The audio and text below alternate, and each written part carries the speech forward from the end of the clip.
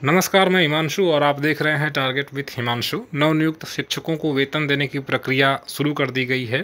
हर ज़िले से नई लिस्ट जारी हो रही है, लेकिन दुख की बात है कि 2003 के पूर्व अगर हाई स्कूल या इंटर किसी शिक्षक ने कर रखा है तो ऑफलाइन वेरिफिकेशन कंप्लीट न होने के कारण ऐसे शिक्षकों का नाम उस वेतन सूची में नहीं डाला जा रहा है और कई जिला बेसिक शिक्षा अधिकारियों ने स्पष्ट यह बात कह दी है कि अभी चूँकि शासन की ओर से कोई आदेश नहीं है, ऐसे में हम उन्हें वेतन नहीं दे सकते। तो यह आप समझ लीजिए कि अगर आपका हाई स्कूल या इंटर 2003 के पूर्व का है, ऑफलाइन है तो आपका वेतन फ़िलहाल अभी पूर्व के आदेश के अनुसार नहीं लगाया जाएगा। आपको इंतज़ार और करना पड़ सकता है, जो दुख की बात है, क्योंकि शासन एक और कुछ शिक्षकों को वेतन दे रहा है, वही दूसरे कुछ ऐसे शिक्षक हैं, जिनको वेतन के लिए फिर से इंतज़ार करना पढ़ सकता है, और पढ़ ही रहा है, बल्कि शासन का आदेश अब कोई आएगा हाई स्कूल इंटर को लेकर, और उसके बाद फिर प्रक्रिया शुरू की जाएगी।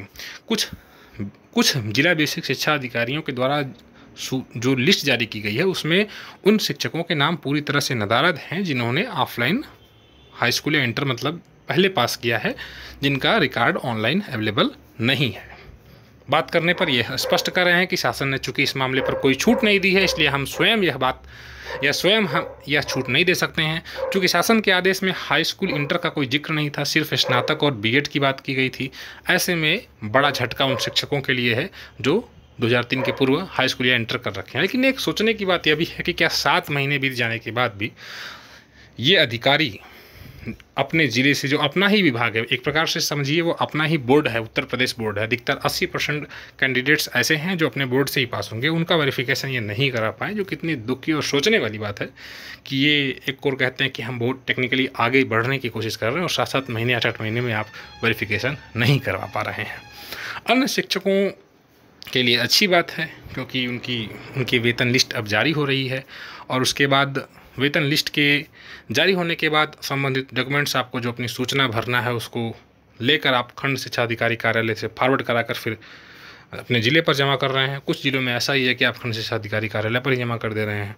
फ़िलहाल, इन सभी शिक्षकों की जो नाम, जो सूची में आया है और इन्होंने अपना डॉक्यूमेंट्स जमा करना शुरू कर दिया है, इनका वेतन निश्चित रूप से जून माह में लग जाएगा। पाँच से दस जून तक मिल भी जाएगा। लेकिन अगर अभी तक आपका लिस्ट में नाम नहीं आया है और अगर आने वाले तीन चार दिन में आपकी मतलब कोई लिस्ट नहीं आती है और उसमें अगर लिस्ट आती भी है तो उसमें आपका अगर नाम नहीं रहता है तो कहीं ना कहीं आपके लिए और परिस्थितियाँ थोड़ी सी मतलब ये जो मैटर है वो लंबा हो जाएगा, जो वेतन मिलने की प्रक्रिया है आपके लिए और देरी से होगी। तो फ़िलहाल उम्मीद करिए कि, और उम्मीद करने के अलावा आप दबाव भी बनाइए। अगर आपका सब कुछ सही है और अगर आपके जिला बेसिक शिक्षा अधिकारी ने वेतन लिस्ट नहीं जारी किया है तो प्रयास करिए वहाँ पहुँच कर खुद से।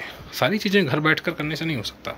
आप उनसे प्रयास करिए, सामूहिक प्रयास से कि वेतन लिस्ट जारी हो, और जितना जल्दी इधर आप कर देंगे, आपको जून का वेतन मिल जाएगा। नहीं तो अगर आप एक हफ़्ते दस दिन इधर लटका दिया गया तो फिर समझ लीजिए आपको जून का भी इंतज़ार करना पड़ेगा, फिर कहीं अगले माह में ही फिर आपको वेतन मिलेगा। इस दिशा में सार्थक प्रयास करिए।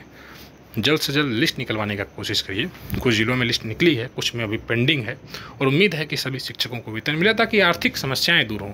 हाँ शासन का आदेश जब तक हाई स्कूल इंटर को लेकर नहीं आता है, तब तक 2003 के पूर्व अगर आपने हाई स्कूल इंटर कर रखा है तो आपको वेतन नहीं मिलेगा जब तक कि शासन का आदेश नहीं आता। इसलिए आपको इंतज़ार करना होगा। हालाँकि कुछ शिक्षकों के द्वारा इस मामले में सरकार को ज्ञापन दिया गया, लेकिन अभी तक फ़िलहाल कोई आदेश नहीं मिला है। जैसे ही इस संबंध में कोई सूचना मिलेगी, आपको अवगत कराया जाएगा। जुड़े रहें, धन्यवाद।